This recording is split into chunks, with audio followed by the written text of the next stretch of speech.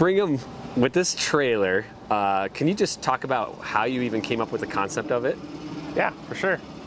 I was going to Utah State. I just graduated. I was in their outdoor product design and development program. Um, it's pretty much a program where um, they pretty much make students ready for this type of an industry. And I've always been into off-roading and stuff and the overland type of stuff. And I really wanted a trailer um, that I could use as kind of a base camp because I've got the rooftop tent on the truck. But when you're just staying somewhere for a while, it's really annoying to set it up every day. And then I've got a wife and a small kid, and it's just kind of nice to, to have a place to put them where they can chill and it's a relaxing place. And so I wanted to build one of these for a while, and for my senior project, I decided, you know, it'd be a great opportunity to to get one built. So I, I, had the chance of meeting you and talking to you yeah. the other day, and you told me this came in your whole build at around two thousand. Yep.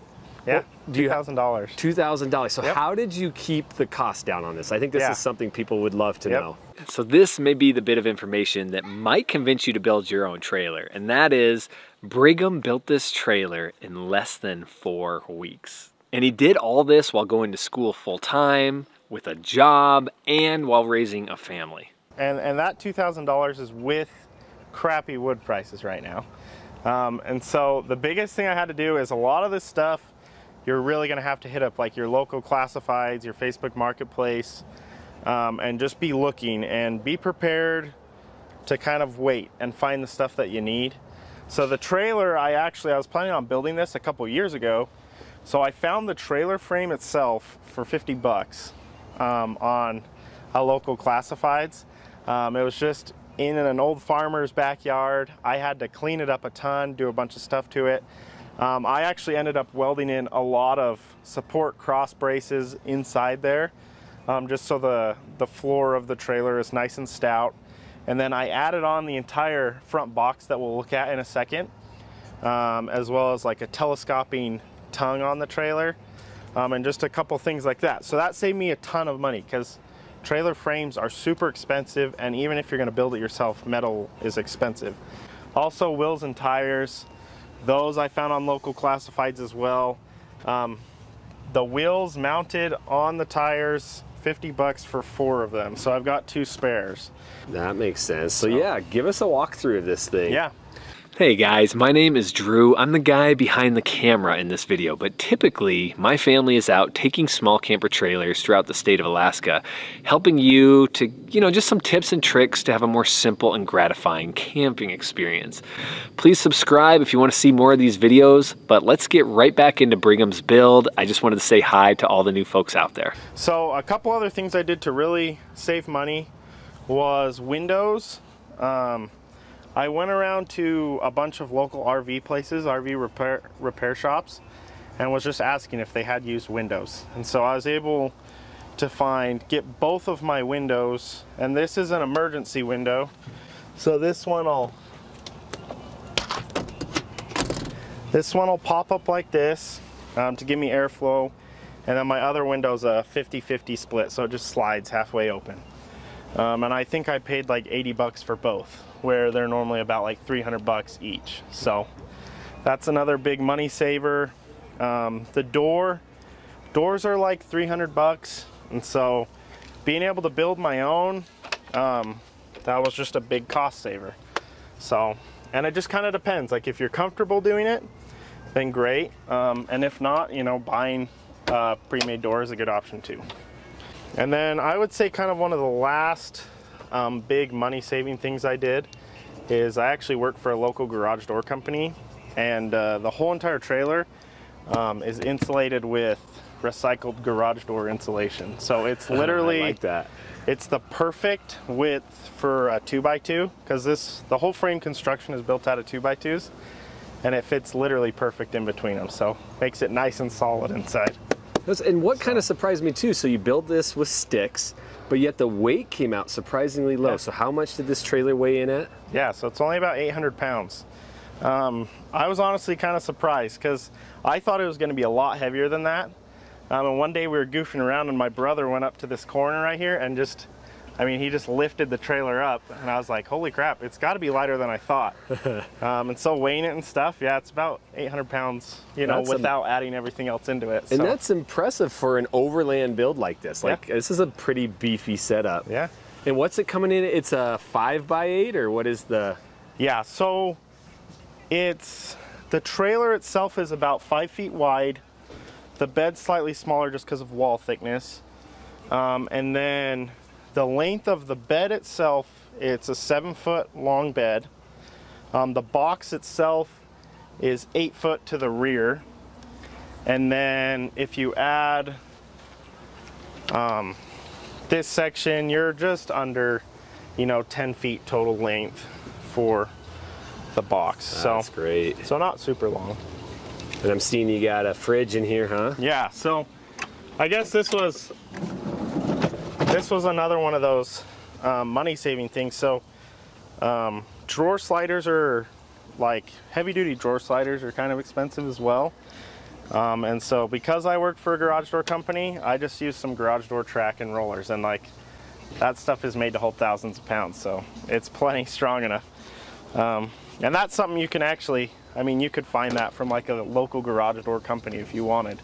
Honestly, that'd be something they'd have on in stock. So, but yeah, this this front box, I really wanted the integrated box um, up front just because it gives me this storage for the cooler. The other side is all storage and it's where I have my battery set up. Um, and so it just kind of gives me a place to tuck stuff, you know. That's pretty For- big for box storage. So there's a whole other side when we go around there holding stuff. Oh, that's great. Yep. So, yeah, so that's this side. Um, and then we kind of come back to the kitchen area. This is one of my favorite spots. Um, again, like the reason I built this trailer is I love going off-roading. And if you have a huge trailer, you can't really take it the places you want to go. And the main reason you go out into the outdoors is to spend time outside. And so I kind of wanted this incorporated, you know, outdoor kitchen area um, but also trying to do it on a budget and save money. And I made it to where everything I do um, can be upgraded in the future. So for right now, I've got a really basic water system. Um, you've kind of got this this little spot right here where you can have all the counter space you want. Um, and if you pull that down, you've got some storage down in that area. Um, and I've got a collapsible sink that fits down in there. And your sink can go right there. Um, I've got a big seven gallon water tank that's got a spout on it right here and you can just run your water off that. Oh, that's I've never seen anybody do this. That's a really neat Yeah. design because typically you're seeing the water down here coming into something lower. Yep. But this makes sense from like a, like it's Yeah. it, it's comfortable. Yeah. And then this design, I don't know if you guys can see this on the video. It's like uh, he's well, how would you explain this? This has some angle to it. Yeah, so when I was designing the rear kitchen, um, I really tried to put a lot of thought into it because the biggest thing is I, I wanted to be able to fit full-size plates um, and pans if I wanted. And to just take and build a shelf straight across, it really kind of eliminates a lot of this usable space. Yeah. Um, and so I kind of figured this out just try, kind of doing it on my own, just working through it. And I figured, you know, if I put angles in on each side, it gives me a lot of space in here to be able to put large round objects. Um, you know, and then obviously I don't need as much right here. Yeah. And so this kind of just opens up this entire area. And I think it kind of gives it a cool look. I think it does too. It's like something I can tell I'm not going to be able to capture in video, but like Yeah. Mm-hmm. in real life, this is. Re- I mean, this is something I could see big brands integrating into their Yeah. build because you've basically reclaimed a ton of space here. This is, feels so open and airy. Mm-hmm. And that's kind of the neat thing about building your own teardrop or square drop. You're building it for you. Like Yep. everything about this is designed around who you are. Yep. You're not having to step into somebody else's design. Yeah, it's true. And then uh, another thing, so with the water, if you pull it out, now you've got a pass-through window Oh, I love into the cab, you know? So if you want to wake up early and cook your wife some breakfast, you know, breakfast in bed, hand it across, you know? Oh, that's good. I love the pass through. So it's kind of nice. Um, but yeah, and then that just slides right in there. Um, yeah, and then kind of other things. I wanted to have 110 power back here, um, as well as USBs Um, and so I've got a couple of these little fans that I can just kind of run and they're, they're actually pretty strong and super efficient. And so um, just kind of gives you a little bit more utility in this area. So another thing I really wanted, just because it gives you more space, um, is I kind of wanted to build, obviously you see these a lot on a lot of people's vehicles and stuff and trailers, but just a little easy, super simple fold down table that just gives you a little bit of extra real estate to be able to, you know, put a cutting board on it or a single burner stove or something like that and uh, gives you a little bit more space that way. Um, I guess and another feature that might be useful if people are thinking about building one. So originally I was gonna do a one-piece door um, and I kind of decided when you're building a, a wood framed trailer, it's kind of hard. You could get some really beefy hinges, but it puts a lot of stress on hinges to have a door that large. Okay. Um, and so I decided to do the two piece.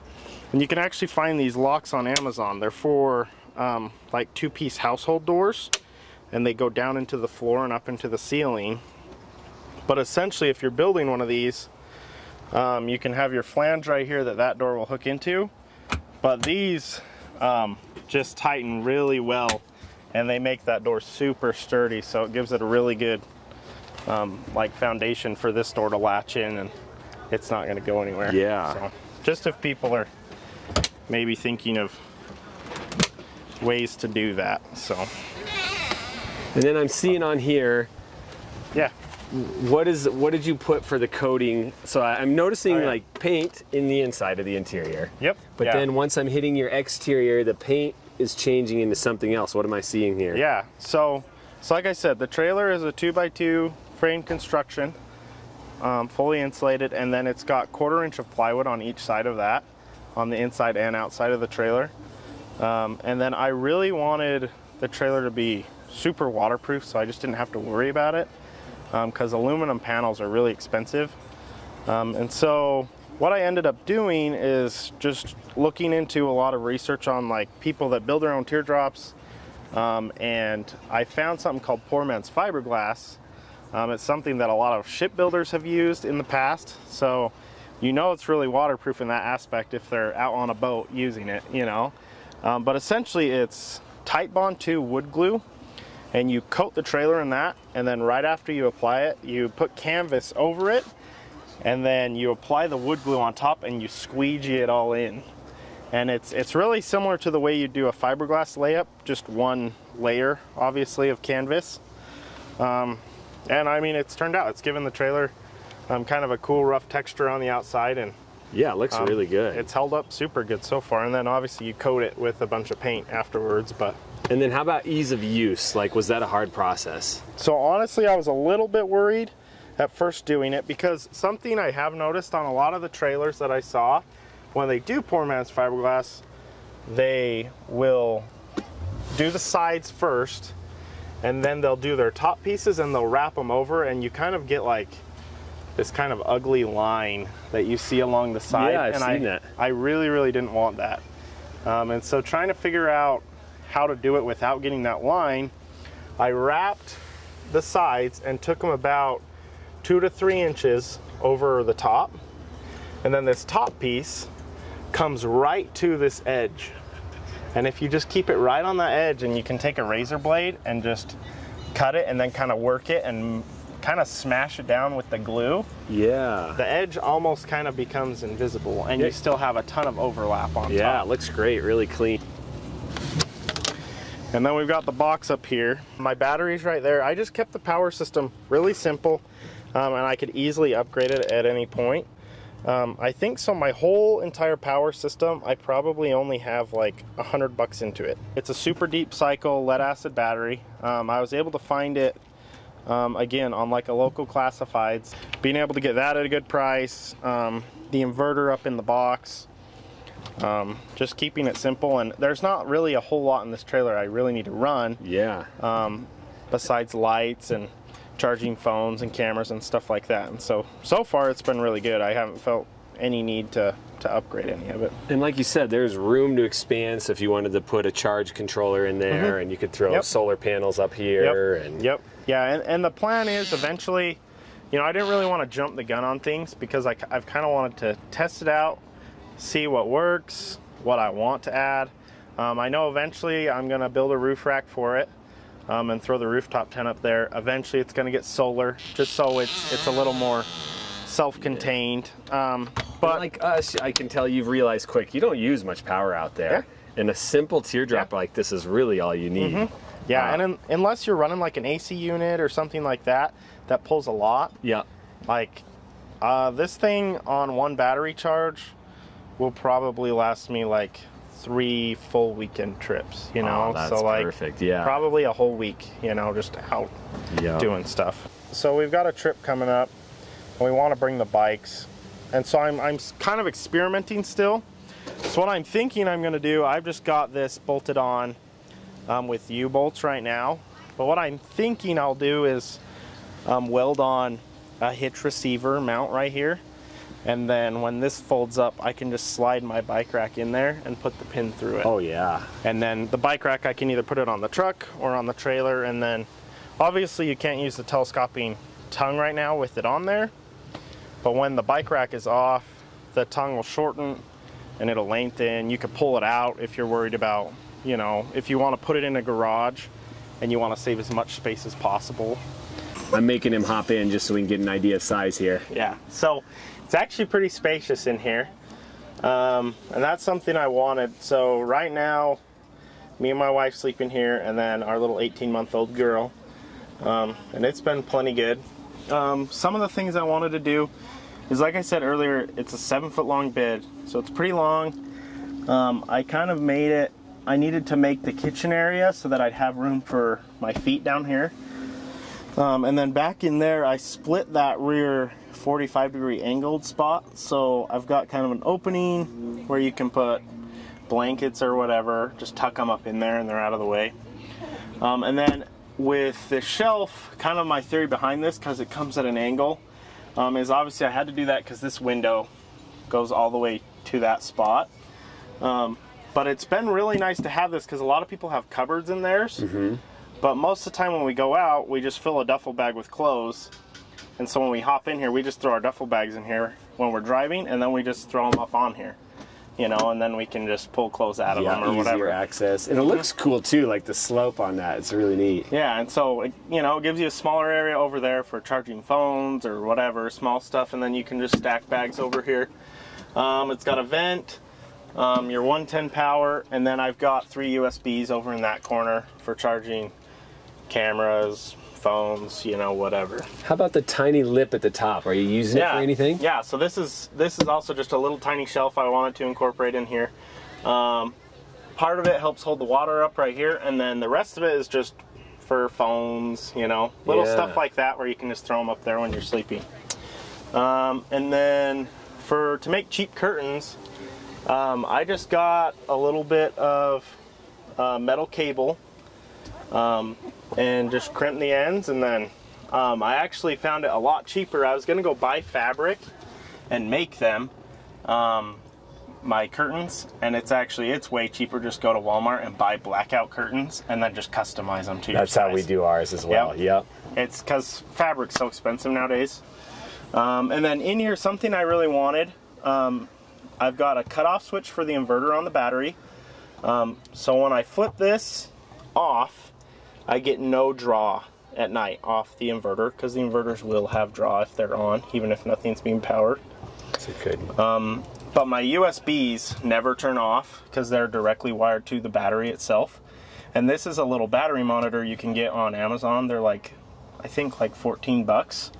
But this is, I mean, this is kind of a game changer. You kind of have to have it, and it just gives you battery percentage, voltage. Because with those deep cycle batteries, you don't really want to go below 50% Yep. Or it starts hurting them. So, and then, yeah, it's just got lighting in here. You've got your interior light switch. My exterior one is up there. Exterior, bright out here. So, but yeah, it's been it's been nice in here. Um, like I said, having the inch and a half insulation, it stays plenty warm in here. You know, when it's cold outside, and uh, honestly stays a little cool in here when it's warm. You know, so Uh, well, thanks nice. for sharing this build with us, Brigham. And I probably should. Where are we at today? What is this? Yeah, so this is the Outdoor Adventure Expo in Salt Lake City, Utah. Um, there's a lot of sweet trailers here, vehicle builds, um, all sorts of cool stuff.